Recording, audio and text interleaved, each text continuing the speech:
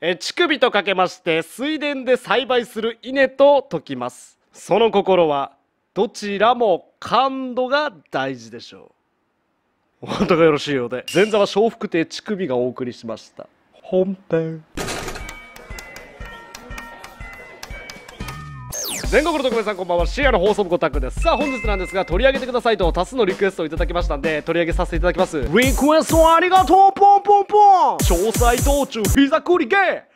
今週末ほどもうだいぶしんどいでおなじみ第2波も予想されている新型コロナウイルスに関して新たに北海道すすきのにてクラスターが発生したとの報道がありました。札幌市の12名を含む13人が新型コロナウイルスに感染したことが確認されこのうち11名は札幌市の繁華街すすきのにある同じキャバクラ店の従業員と客だということが判明。感染判明後も営業を行い600人程度を接客したとみられ新たな感染拡大が懸念されているということなんですがこのキャバクラと呼ばれているもの実はオッパブだったんですね。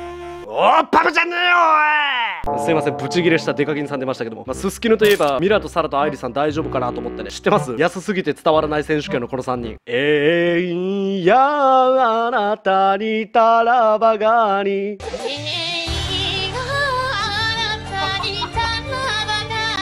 そんなことはよくて、まあ、これオッパブにて感染が拡大したんですけどオッパブって何かと言いますと制限がかからないように言いますと女性を上に乗せてほっぱいを触ったり吸ったりラジバンダリしながらお酒を飲むっていう場所なんですがなんと関係者によりますと何度も乳首をアルコール消毒すると乳首がカッサカサになってしまうから消毒を少し怠ったと言ってるんですね。そう気づきましたか？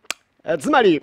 こういうことです。感染したお客が女の子の乳首を舐めた、えー、そしてアルコール消毒されなかった乳首を違うお客さんが舐めた。こうして感染が広がった。つまりこのパブでは知らない男と女性の乳首を介して間接的にキスしていたことになるんですね。はいいいですか、えー、まさかおっぱいを吸っていたと思ったら吸っていたのはコロナウイルスだったんですね。夜の街クラスターならぬ夜の乳首クラスターだったんですね、えー、全然話が入ってこない。お察しします。まあという風にねこれ解釈されてしまいまして、まあ、SNS 等で話題になったりですね。これ深刻な問題なんで笑っちゃダメなんですけどオークチャンネルさんというブログの専門家のコメントがおもろいと話題になってますね。専門家によると客は女の子の乳首を経由して他の客と間接キスをしている可能性は一度は考えたことはあるかもしれないが実際に女性のおっぱいを目の前にするとバブみがマシマシになりそんなことは頭からたちまちなくなってしまうだろうと話す。いやバブみがマシマシになるでね。まあ本当にその通りだと思いますよ。お酒も入ってますしね。ただこの自粛ムードの中完全な消毒をせずに経営して、まあ、結果クラスターを発生させてしまった。さらに感染予防とか衛生面を徹底している店舗にまで悪いイメージがついてしまうというところではちょっとヤバみが増してるということですね。ただ今どんどん企業が倒産してる中で経営やめろとかこんな時に行くなとは正直強く言えないですよね。ちょっと真面目な話にはなりますけどやっぱ著名人の方も言ってましたが感染者数感染者数と報道するだけじゃなくて検査の数そしてその陽性の患者が軽度なのか重度なのか聞きたい。検査数が増えてるから感染者数も増えている。でも世界的に見ると検査数は少ない状態ですよね。さらには感染者少なかったと言ってますが検査数からの感染の割合は増えてるとかね。この曖昧な報道じゃじゃあどこまでのラインで行動していいのか。今実際全国的に危険な状態なのか。じゃあ仕事はどうしたらいいのか。分かりづらすぎて国民は混乱すると思うんですよ、まあ、どんどん飲食店は通常営業に戻って感染予防はしてますが全てが完璧とは言いづらいですよね。だから飯食う時マスク外すし解除されて経営やばいからコロナはただの風邪だとね吹っ切れて営業して予防しなかった結果今回のようなクラスターが起き始めてるわけですよね。政府はテレワークと言ってますが通常に戻った会社学校というのはこれ山ほどありますよね、僕の DM にもすごい来てます。なんか感染者数だけを発表して頑張ってくださいっつって。感染したら世間からお前さみたいに批判を浴びる。なんかそんな感じがしてますよね。この経済と人命を両立させるにはやはり原点に戻って個人の徹底した予防が必要なのかなというところです。皆さんもだいぶしんどいと思いますが頑張っていきましょう。はいとね最後はちょっと真面目になりましたけども今回以上です。ちょっとまたねコロナ野郎の感染者数が増えたということで結構言ってますけど新たメンソレータム動画を作りました。早く普通の日常に戻りたいですよね。最近つくづく実感しませんが。はいと今日は以上です。Twitter の方でクソコラグランプリを開催してますんでよかったらフォローしてください。以上。